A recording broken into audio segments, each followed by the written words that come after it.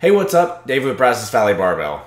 Today's video might be a little different than most of my videos, but I wanted to talk more about some of the mental aspects of training, and I have a few more videos planned to follow this one, but I wanted to talk about basically everything that people don't see.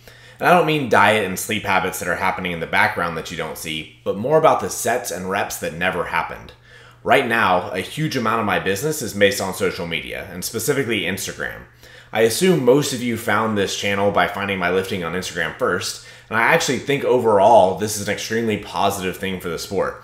Powerlifting is growing and attracting new members like it never has, and that's because people can feel connected and get to know each other and see details of other lifters' training and habits that otherwise would have never surfaced. I really think this is great for the sport and community, but the problem comes when I do things with my training that may not be in the best interest in order to keep up with my competitors and online keep my business and lifting relevant. I definitely go through phases where I feel pressure to do certain lifts or push past what I should because it'll make a good post. But more often than not, I actually make good decisions and stop where it's reasonable, and that's what this video is about. So what I wish people knew about my training is how often I stop at my last warm up how often I take weight off the bar, how often I'm willing to adapt to what's happening in order to have productive sessions. The lifting we're watching right now is a little bit of that in action. I had planned straight sets around 475 pounds on squats, but actually because my hip is really feeling a lot better right now, I wanted to keep that progress rolling and not suffer any sort of setback. So I started I decided to start much lighter than originally planned and work my way up through the sets to a more challenging set or two. I almost certainly could have loaded the weight up and gotten through all the planned work, but then I would have had a higher chance of my next session having to take a major step back and not being able to be productive at that point. I actually don't want this video to sound like I'm only making good decisions because of some of the pain. I do this more often than people would think. There have been countless days that I have a planned single or planned top set that I really uh, that I'm really excited about going for, but warm-ups tell me otherwise and I stop and I move on.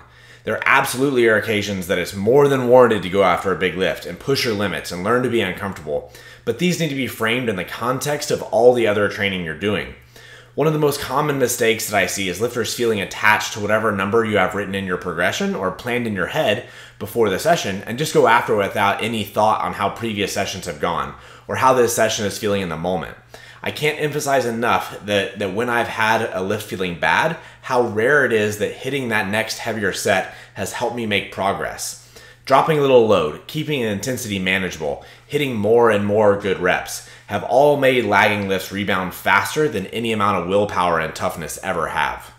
These things are hard to post about. No one wants to see a post about, I didn't do my top set today, and I'm really proud of the fact that it never happened. People almost always would rather see me grind and I would feel good about being tough and hitting that weight anyway.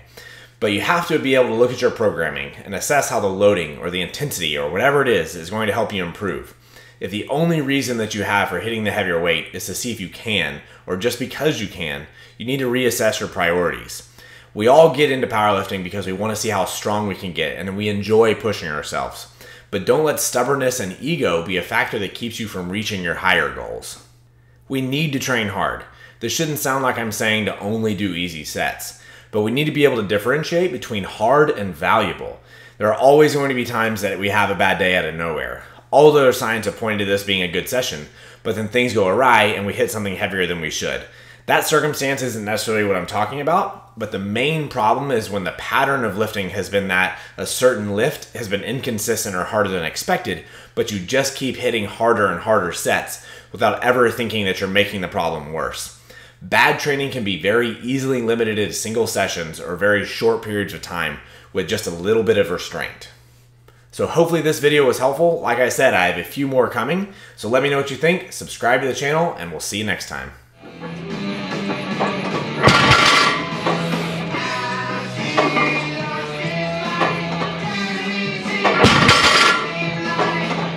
And easy at the same time?